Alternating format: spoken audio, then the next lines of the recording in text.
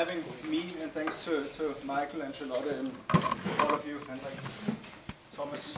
Um, Michael asked me to talk a little bit about tradition. That's I'd love to do it, and I will, do it, but um, I would also love to talk about quality and um, education and so on, because everything is interlinked if we talk about uh, butcher traditions, at least in my view. But I will try to, to keep it to, to traditions. And um, just very shortly, what we do at, at um, our farm, um, it's an, an, organic farm, but that's not really what it's about today. It's about uh, butchering. Um, but for me, traditional butcher craft doesn't start in the butcher shop. It's um, much earlier we have to look at it and for me it begins with the farming, the feed for the animals, really down to the different crop we, we um, have in the fields. And that connection, in my view, is, is gone in, in industrial um, butchering and, in slaughterhouses.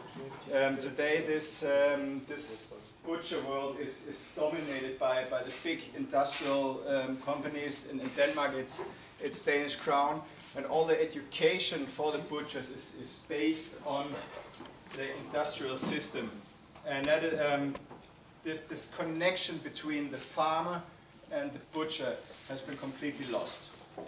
And um, that is what we are trying to, to reinvent and, and, and, start again. So we have the whole process under one roof. And there are, there are a couple of reasons for that. One reason is, and it's definitely the most important reason, that we are all about quality. We want to have great taste in our meat again. Um, I started that project here because I really missed good sausages in, in Denmark and, and I couldn't find them anywhere. And, and um, then I learned about the butcher trade in Denmark and I, I, was just shocked. And in the end of the day I found out that I actually can't find good butchers in Denmark. And that's why I was so thrilled that, that Michael started that, that whole process up here. But for us, as I said, the whole process starts in the field. We, we do all our, all our own uh, feed from the protein to the, to the grain. Um, the only thing we have to buy is, is uh, salt and minerals for, for the pigs. Um, we have only our own animals. Um, we only slaughter our own animals and um, we, we um, transform them into, into great tasting products. Um, again, the whole value chain is there to, to focus on quality. And that's why we only slaughter our own pigs, because we know when, they, when we have the pigs on the farm, they can, um, the guys in the farming bit can talk to the butchers and they can agree on how things should look like. And it's actually very, very beneficial. Um, it's also very important that the, the, ways from life to death, um, from, from the living animal to the butchered animal, as short as possible. And that is where we, where we come to in the, in the next is, in a way, it's all about stress-free slaughter. And as you know, um, if you have an animal that is stressed, you get that what, what is called uh, DFD meat, which is um, dark, firm, and dry meat. Um, if we want tender meat, we have to, to avoid that the animals are stressed. In our place we do different things. The first thing is we have the animals close by um, and the butchers and uh, the farming guys go out to the animals talk to them every day. And when they come into the butcher shop um, uh, Sunday evening, they're going to be butchered Monday morning, um, they are completely calm because they know the guys around them. So when we slaughter pigs, now we have to have a look at um, how we slaughter um, a bull. Um, but that doesn't matter because in, in, terms of the pigs, when you look at, at our slaughter process, you can't hear the pigs scream at all. They are completely calm. And that's extremely important if we want the best meat quality out of it. But we have to have um, Michael asked me to film when we um, shoot um, um, our bolts to the rifle. Um, we do that, that's um, another thing when we talk about tradition, there's also a lot about, uh, about legislation. In Denmark it's normally not allowed that you, that you have the, that you shoot the, the animals with a rifle. Unless it's within the slaughter area. So what we did, and you will see that is that, that we have the, the slaughterhouse is to the left of that place where, where Lasse, that's my, my guy in the farming business, um, um, shoots the animal, and then suddenly everything is possible. But to, to get there was a really long discussion with the veterinaries, and, and um, it's very difficult to, to, to achieve that. But let's see if we can start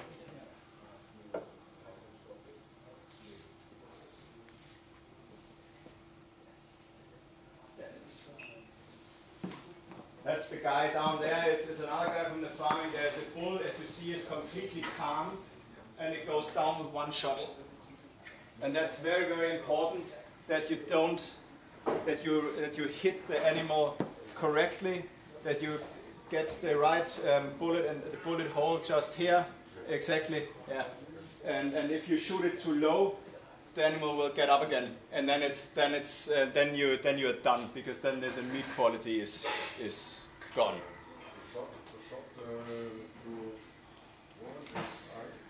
Yeah, look, uh, there's, there's um, the, as you said, it's, it's a little bit higher than the eyes and, and it goes directly down. Now you see the three guys here um, opening the, the uh, uh, taking the skin off in, in what we call uh, butchering unclean. The animal is still closed there. Um, we, we take the, the skin off and um, bleed it out and then it, then goes on to the, to the next room, which we then call um, slaughtering clean. That is this room there, where they open up the animals, take the organs out, hang them on the hooks so the veterinary can come, have a look at them, um, and, and um, judge if the animal is healthy or not. We come to the to the next stage afterwards. I just want to, to leave that uh, standing here when, when Piotr works with his saw. It is uh, when we talk about traditions, these guys are, are fantastic. Um, the one cut uh, the Yeah, is is um, already within one. It has to be within the 60 seconds after you you shot the, the animal. 60 seconds. Eine, unter einer Minute. Um, so that is that is not here on the on the picture because we had to to, to narrow it down to two minutes. Um, so um, but what is, what is fantastic with these guys uh, that they know the whole process. They know how the animals look on the field. They butcher them themselves and they work with them through the whole process. And that is what is for me um, the most important part because that is completely gone in Denmark that, that, that people can slaughter, kill and then do a sausage and, and charcuterie out of the same process. Um, today in Denmark it's like uh, you have two lines of education. The one is the industrial butcher. Um, they learn to slaughter, to kill and to cut up. And then you have a division there and then you have the guys who do the sausages or work in the supermarkets and pack meat. But there's no one left today who can do the whole process. There are some, amongst others, uh, some of you are here. um, it's just nothing you can you can find in, in, in larger numbers anymore. Now you saw this um, when they, they had a um, they had the animal in the slaughtering clean. Um, it goes then on to our workshop, and, and that's where another tradition comes in fast. Very important that we work with uh, warm meat butchering. Um, the, the, and the advantage of, of warm meat butchering is that you get when you do sausages, you get a, a sticky, soft mass of, of meat that is, due to its uh, pH values and, and to the ATP, has a much better um, ability to retain natural water and binds fat much better. So you get a completely different structure in the product and it, by the way, is a much more tasty meat. It, it retains the taste and enhances the, the taste of the meat itself.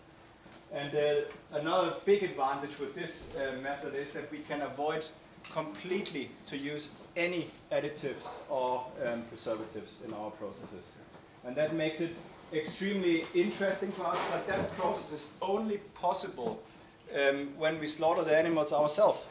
Because if we get, um, we, we have around two hours um, to, from killing the pig to producing um, the, the warm meat um, substance. And for um, cattle, we have three to four hours. That's a very, very short range of, uh, of, of hours and um, to, to use, utilize these, these natural processes. And um, therefore it's only possible if we do it ourselves. And that's why it makes sense, again, in terms of tradition, that the butcher knows the whole process and can do the whole process. Um, the funny thing was in Denmark, again, when we go back to, to legislation and regulation, um, the, I, you saw that the, the uh, organs have to hang on the hooks, um, and the veterinary has to come, give the stamp on the animal, and then um, um, it's allowed to cut the animal up. We said, well, if, you, if you're not coming within the next two hours, we can't utilize the, the warm meat process, so um, we need to cut up even if you're not here. And then that was, no, no, no, that's not possible. And then we said, okay, it has to be possible. And then we agreed with him that we, um, we do it anyway. And if he finds anything in the meat, in some meat, we destroy the whole production for the day. But the point is, until now, it has never happened because the guys know if the animal is healthy or not. So they wouldn't start doing something when they see, okay, there's something wrong with the animal. So that's not a problem, and again, a, very, very important um, argument in, in terms of, of, food legislation that um, um, the legislators also have to trust the butchers more again. And um, that's a, it's a really important process. But we, we cut the, um, the meat up after that, we, we do the warm meat, we do the sausages, um, and we of course also do the cuts, and we of course also um, mature the meat pieces. This warm meat butchering process only for, for the sausages. Um, and then during the week, we, we slaughter Monday, we, we do the, the, the warm meat, we, we do the, the cutting um, Tuesday, and then we do the sausages and, and, and charcuterie also on, the rest of the week.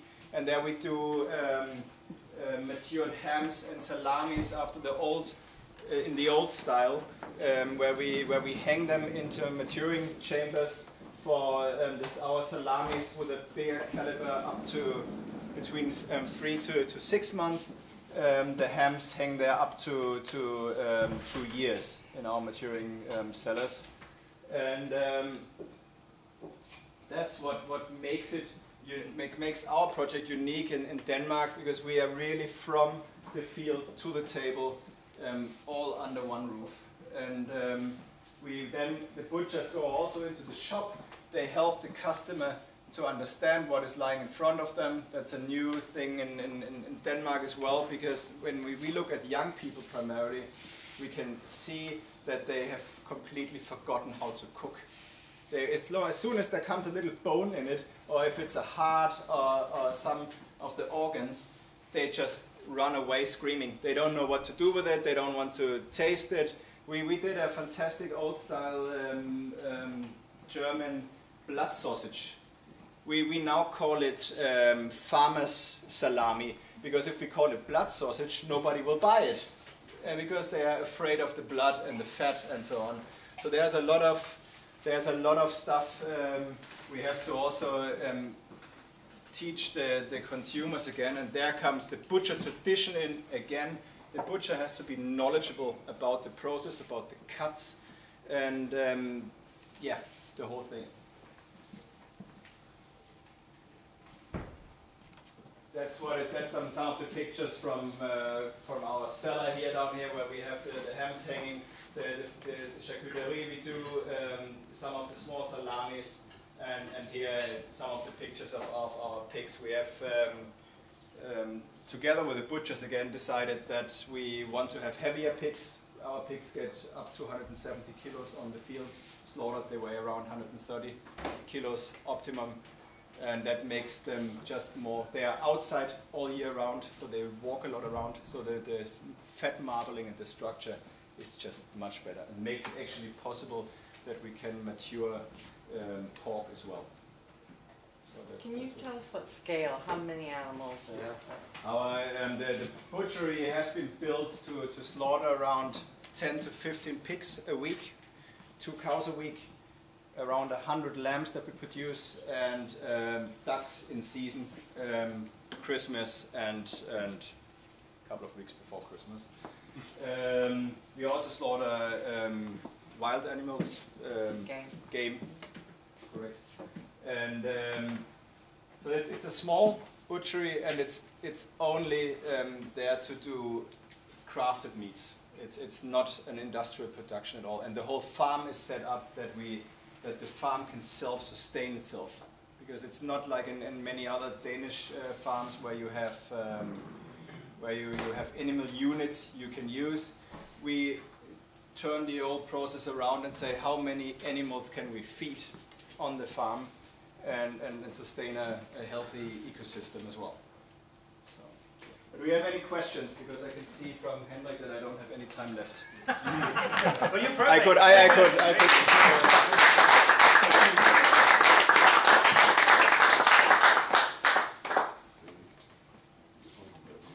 Questions?